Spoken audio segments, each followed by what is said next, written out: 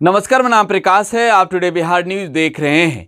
देखिए, सिवान के पूर्व सांसद साहबुद्दीन अब इस दुनिया में नहीं रहे। साहबुद्दीन के मौत के बाद आज दिल्ली में बवाल भी हुआ है। परिजन कह रहे हैं कि साहबुद्दीन की हत्या हुई है, पोस्टमार्टम भी हो रहा है और अब परिजन जो हैं, वो अरे हुए हैं बिहार में साहबुद्दीन के पार्थिव शरीर को लाने के लिए। आरोप लगा रहे हैं लालू प्रसाद यादव पर, तेजस्वी यादव पर। कि लालू प्रसाद यादव क्यों नहीं शहाबुद्दीन के लिए न्याय की लड़ाई लड़ने की बातें कह रहे हैं? तेजस्वी यादव क्यों नहीं शहाबुद्दीन को न्याय दिलाने के लिए आगे आ रहे हैं? शहाबुद्दीन के बेटे दर दर की ठोकर खा रहे हैं दिल्ली में और इस वक्त की जो बड़ी खबर हम आपको दे दें साहबुद्दीन के परिवार से खुद बातचीत किया है आरजेडी सुप्रीमो लालू प्रसाद यादव ने। इस वक्त की बड़ी खबर हम आपको दे रहे हैं। आरजेडी चीफ लालू प्रसाद यादव ने खुद बातचीत की है। साहबुद्दीन की पत्नी हिना साहब से ऐसी खबरें सामने आ रही है।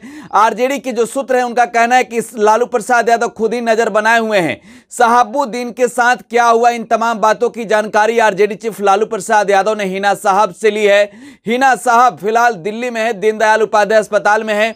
अरी हुई है अपने पति के डेड बॉडी को सिवान लाने के लिए। और इस बीच की जो सबसे बड़ी खबर हम आपको दे रहे हैं, लालू प्रसाद यादव ने बातचीत की है साहबुद्दीन के पत्नी से। चारा घोटाले मामले में सजावता आरजेडी चीफ लालू प्रसाद यादव को जमानत मिल गई है। बाहर आ गए हैं अपनी बेटी मीसा भारती के।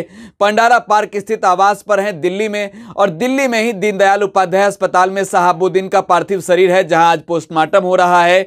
साहबुद्दीन के डेड बॉडी को लेकर सिवान आने के लिए, ताकि सिवान में साहबुद्दीन का अंतिम संस्कार हो, परिवार मांग कर रहा है और परिवार लगातार ये लालू प्रसाद यादव से भी मांग कर रहा है कि आप हमारी लड़ाई लड़िए। आपके सबसे करीबी नेताओं में एक रहे हैं साहबुद्दीन लालू प्रसाद यादव ने खुद ही ट्वीट कर कहा था कि हमारे लिए निजी क्षति है, लेकिन आज जब पूरी तरीके से विरोध हुआ साहबुद्दीन के समर्थकों ने ट्वीट पर ट्वीट किए जस्टिस फॉर साहबुद्दीन और साथ ही आरजेडी स्पीक फॉर साहबुद्दीन तब जाकर अब जो खबर है, लालू प्रसाद यादव ने फ़ोन किया है साहबुद्दीन के पत्नी को। इस वक्त की बड़ी खबर हम आपको दे रहे हैं। साहबुद्दीन के पत्नी से आरजेडी, सुप्रीमो, लालू प्रसाद यादव ने बातचीत की है और साथ ही कहा है कि उनकी लड़ाई वो लड़ेंगे। साहबुद्दीन का चला जाना लालू प्रसाद यादव के लिए व्यक्तिगत क्षति है, निजी क्षति है।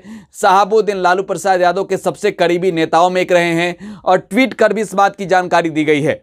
देखिए, आरजेडी सिवान के ऑफिशियल ट्विटर हैंडल से ट्वीट किया गया है। मरहूम साहबुद्दीन साहब के इलाज से लेकर अब तक राष्ट्रीय अध्यक्ष माननीय लालू यादव जी स्वयं लगातार उनके परिजनों के संपर्क में रहे हैं और पार्टी हर संभव मदद करती आई है। कानूनी प्रक्रिया से लेकर सरकार तक उनके जनाजे की नवाज़, उनके आबाई वतन में हो, इसके लिए तमाम कोशिशें की गई है।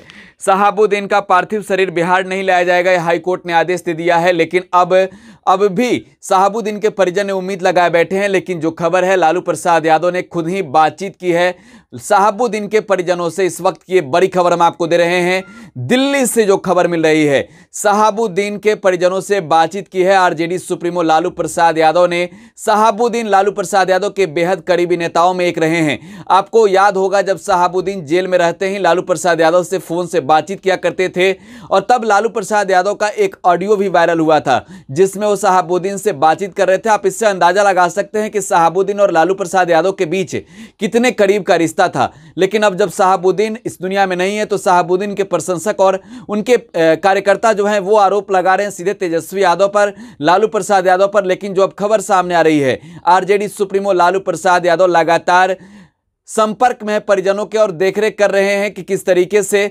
साहबुद्दीन के साथ क्या हुआ, क्या नहीं हुआ, और साथ ही तमाम चीज़ों पर गौर भी कर रहे हैं। साहबुद्दीन की लड़ाई, लालू प्रसाद यादव खुद लड़ेंगे, बातें सामने आ रही है। साहबुद्दीन अब इस दुनिया में नहीं रहे, लेकिन लालू प्रसाद यादव साहबुद्दीन को न्याय ज़रूर दिलाएँगे साहबुद्दीन के परिजनों को न्याय ज़रूर दिलाएँगे। आप टुडे बिहार के साथ बने रहे, लगातार यहाँ खबरों का सिलसिला जारी है। धन्यवाद।